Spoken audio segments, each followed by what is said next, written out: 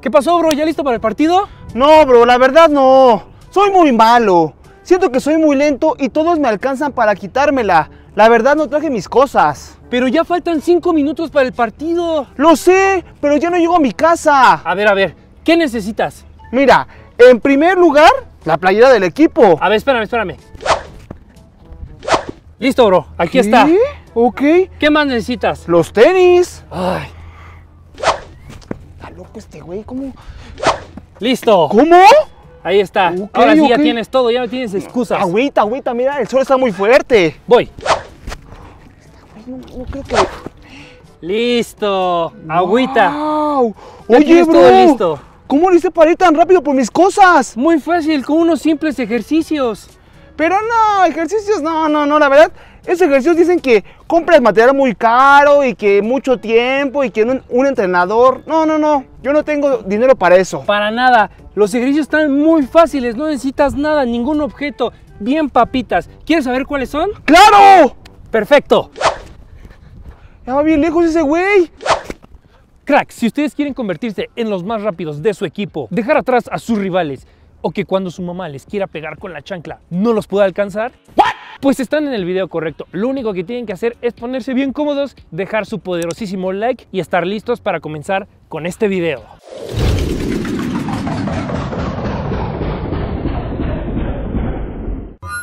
Como se les comentó en un principio, para estos ejercicios no se necesita ningún tipo de material. No queremos excusas aquí, simplemente queremos entrenar al máximo. Si acaso lo único que utilizaremos será alguna de las líneas del campo de fútbol y un par de playeras o algún objeto, el que ustedes quieran, para delimitar la zona. Si por alguna razón también se les complica ir a la cancha, no te preocupes, puedes también realizarlos en tu casa, simplemente que tengas el espacio necesario para que se te haga más fácil estos ejercicios.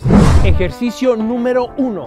Comenzaremos con una serie de sentadillas realizadas de forma lateral. El objetivo aquí es que siempre uno de nuestros pies esté pisando la línea de la cancha. A la hora de saltar hacia arriba, vamos a intentar de ayudarnos un poco con nuestros brazos. Vamos a realizar una especie de braceo que sea cómodo para nosotros. Y a la hora de bajar, vamos a intentar que nuestras rodillas no excedan la punta de nuestros pies.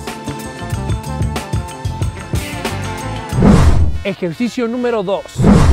En esta ocasión solo vamos a utilizar uno de nuestros pies por desplazamiento. Vamos a colocarnos de forma lateral en cuestión de la línea y una vez que estemos en esta posición lo que vamos a hacer es realizar una especie de saltos hacia adelante y hacia atrás para que me entiendan un poquito más fácil y de esta manera ir avanzando. Una vez que lleguemos al final vamos a regresar a realizar el segundo recorrido, el segundo desplazamiento, pero ahora con la otra pierna.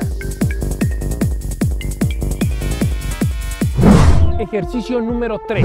Nuevamente utilizaremos solamente uno de nuestros pies por desplazamiento, muy parecido al ejercicio anterior, pero en esta ocasión ahora sí nos colocamos justo de frente a la línea y lo que vamos a hacer es ir avanzando al siguiente punto, pero en esta ocasión realizando saltos de forma lateral. El objetivo aquí es ir avanzando sin tocar la línea que se encuentra justo en medio de nosotros. Una vez que lleguemos al final nos toca realizar el mismo desplazamiento, ahora de regreso, pero con la otra pierna.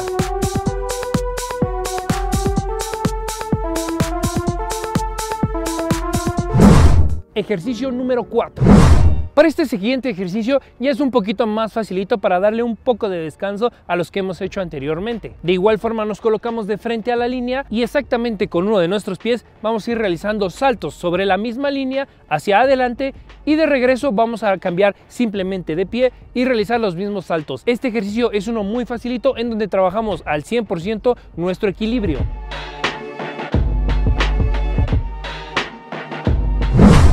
Ejercicio número 5.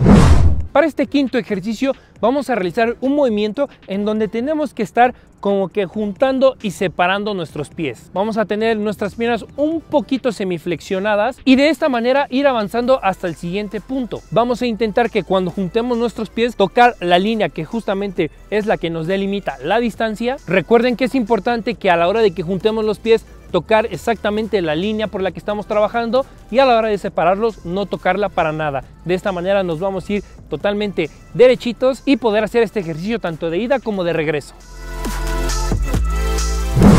Ejercicio número 6. Este ejercicio es uno de mis favoritos ya que siento que trabajamos muchísimas cosas. Trabajamos tanto fuerza como coordinación y ritmo. Comenzamos con colocarnos de tal manera que uno de nuestros pies esté pisando la línea blanca, que a la hora de avanzar, a la hora de dar ese pequeño salto, vamos a cruzar nuestros pies como, en X, por así decirlo, vamos a rotar un poco nuestra cadera para que sea más cómodo, de tal manera que ahora nuestro pie, que no estaba en un principio tocando la línea blanca, ahora sí la va a tocar. Y una vez que suceda esto, de inmediato regresamos como que a nuestra posición original para que me entiendan. De esta manera vamos a ir avanzando y lo vamos a hacer tanto de ida como de regreso.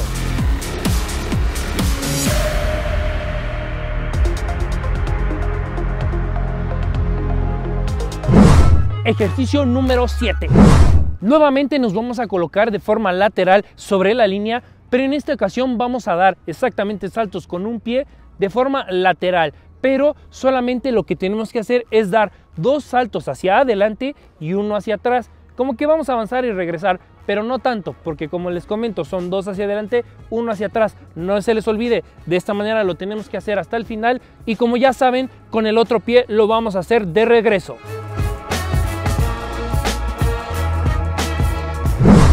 Ejercicio número 8.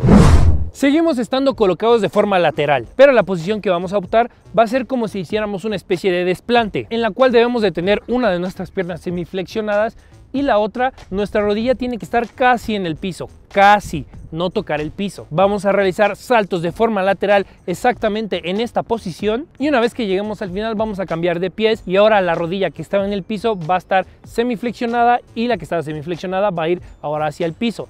Vamos a hacerlo de regreso, pero mucha atención aquí cracks. Tengan demasiado cuidado de que su rodilla jamás choque con el piso porque puede ser peligroso. Así que traten de no bajarla demasiado, mucho cuidado. Ejercicio número 9. Nos vamos a colocar justo de frente a la línea y lo que vamos a hacer es realizar una serie de saltos hacia adelante en donde nuestras rodillas a la hora de saltar tienen que llegar casi a nuestro pecho. Tienen que ser saltos con mucha potencia y se darán cuenta que es un ejercicio bastante fácil, si es que lo comparamos con los ejercicios anteriores. Pero déjenme decirles que este ejercicio es muy efectivo, tiene gran impacto en la fuerza y en la potencia de nuestras piernas. Ejercicio número 10. Para este último ejercicio vamos a trabajar un poco de la velocidad, ahora sí, la potencia, un poquito de todo lo más básico, lo más esencial, pero que por supuesto es demasiado efectivo. Vamos a realizar de 3 a 5 saltos en el primer punto, en el punto inicial donde siempre empezamos nuestros ejercicios. De igual forma, saltos elevados donde nuestras rodillas puedan llegar casi a nuestro pecho. Y una vez que realizamos esos 3 o 5 saltos, recuerda bien que todo depende de cómo tú te vayas sintiendo, puedes aumentar o disminuir la cantidad de saltos, ya que cuando caemos del último salto tenemos que salir a máxima velocidad al siguiente punto. Una vez que llegamos al siguiente punto, nuevamente hacemos estos saltos y realizamos ese poderoso sprint hasta el siguiente punto. Muy bien cracks, hasta aquí el video del día de hoy. Ahora sí viene una de las cosas más fundamentales. ¿Cuántas repeticiones, cuántas series son las recomendables para hacer de estos ejercicios? Si ustedes apenas van comenzando, son principiantes, no se preocupen, váyanse por el número de series, las repeticiones más bajas. Y si ustedes ya son expertos, vayan aumentando cada vez más si pueden irse por las más altas o agregarle un poquito más, no se preocupen porque son experimentados y su cuerpo lo puede soportar. Yo les recomiendo que como mínimo comiencen con tres series de 2 a 3 repeticiones por cada ejercicio. Si ustedes tal vez son más pros o quieren un poquito más de potencia, les recomiendo que hagan de 5 a 6 series de 4 o 5 repeticiones. Recuerda que la potencia y la intensidad se las das tú mismo y obviamente es factor importantísimo para que estos ejercicios sean efectivos para ti. No olviden seguirnos en todas nuestras redes sociales cracks porque estamos subiendo video todos los días que no se pueden perder en Facebook, TikTok, Instagram, YouTube, por cualquier red nos pueden encontrar subiendo siempre videos de fútbol fútbol totalmente épicos. También no olviden dejar aquí abajo su comentario sobre qué les pareció este video y qué próximos videos quieren ver aquí en Titanes. Yo soy Capi, espero les haya gustado muchísimo y nos vemos en un próximo video.